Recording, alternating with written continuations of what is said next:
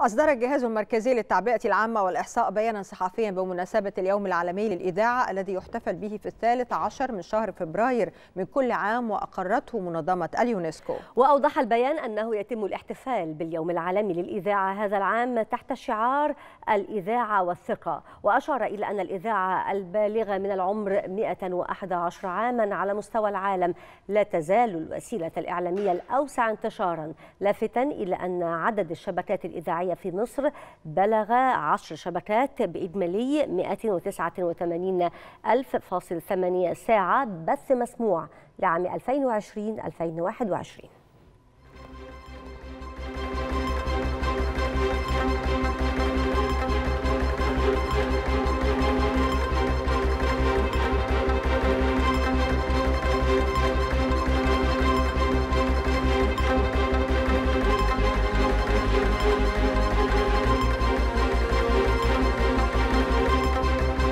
Thank you.